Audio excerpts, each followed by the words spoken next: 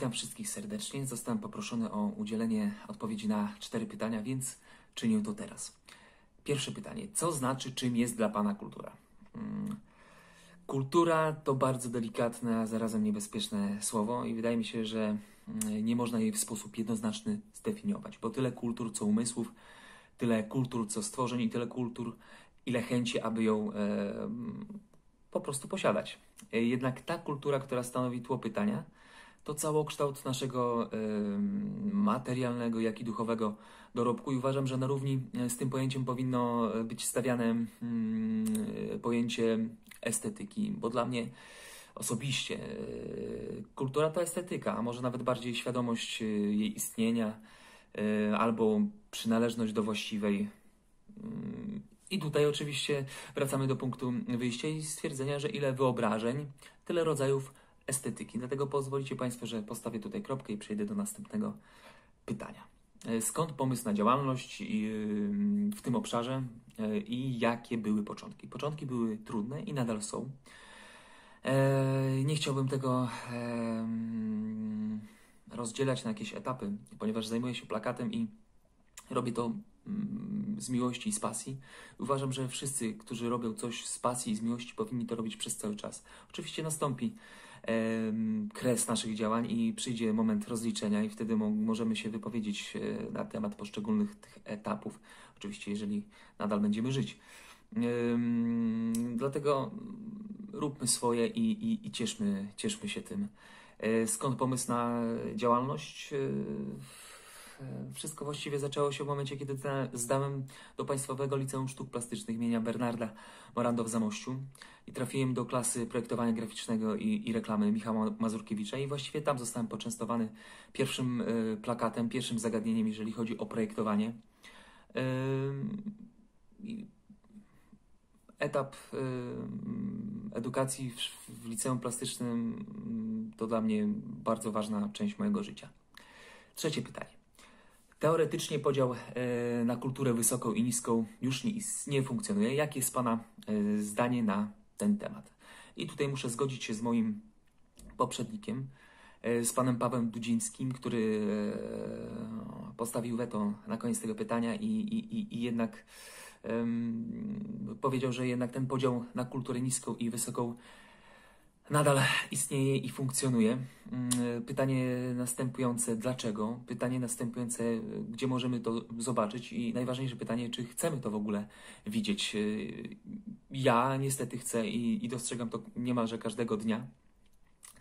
I teraz można dokonać pewnych zestawień. I, i, i, e, powiedzmy, jest TVP i kultura, jest film i film, jest muzyka i muzyka. I tak jak można ogłupiać się barwami szczęścia na TVP, e, tak można sięgnąć po trzy kolory Krzysztofa Kieślowskiego. Można kupić bilet na e, Pitbulla Wegi, ale można też obejrzeć Nóż w wodzie Romana Polańskiego. Można śpiewać o zielonych oczach z Zenkiem Martyniukiem, albo zagrać w zielone z Wojciechem Młynarskim. Wybór, wybór należy do nas. E, Po prostu my musimy zdefiniować, do której grupy chcemy, chcemy po prostu należeć, musimy, musimy się określić i, i, i uważam, że każdy z nas ma prawo wyboru w tej, e, w tej kwestii. Pytanie czwarte. Kto, co jest dla Pana inspiracją w świecie kultury?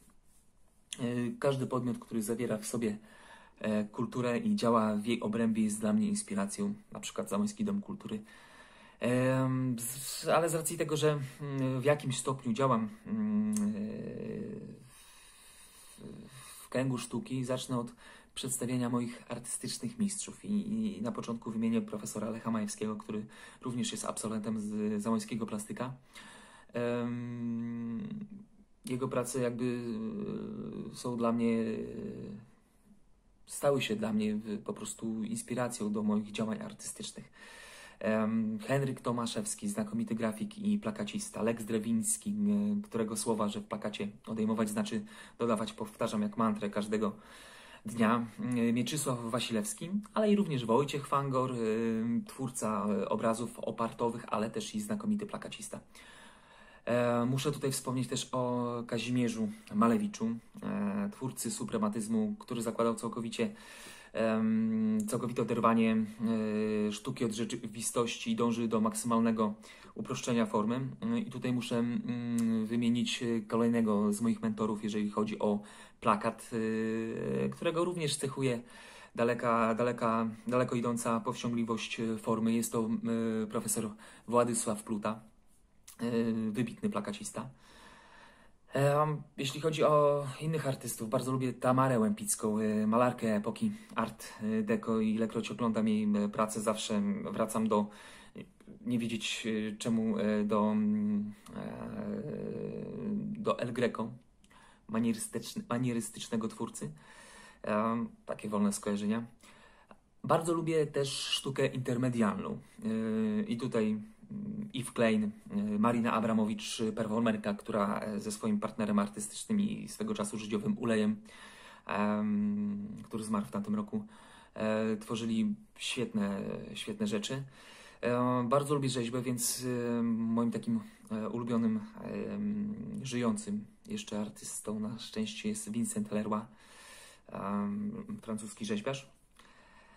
Na koniec tej mojej wypowiedzi zadam jeszcze raz sobie to pytanie, kto co jest dla mnie inspiracją w świecie kultury. Jeśli chodzi o co, to biorąc pod uwagę szeroko pojętą kulturę, to każde wydarzenie, które ma na celu zmusić odbiorcę do mm, intelektualnej potyczki z twórcą i jego em, dziełem, jest dla mnie po prostu inspiracją. Jeżeli chodzi o kto, to tak samo, mm, biorąc pod uwagę szeroko pojętą kulturę, e, to to każdy twórca, który mm, zmusza odbiorcę do tej intelektualnej potyczki z jego dziełem, jest po prostu dla mnie inspiracją.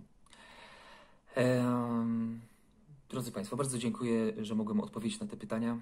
E, Dziękuję za zaproszenie mm, do tego cyklu. Mm, Cóż więcej, pozostaje mi życzyć tylko i wyłącznie nowego, e, zdrowego, lepszego roku. I jeszcze więcej spotkań z kulturą. Pozdrawiam serdecznie. Dziękuję.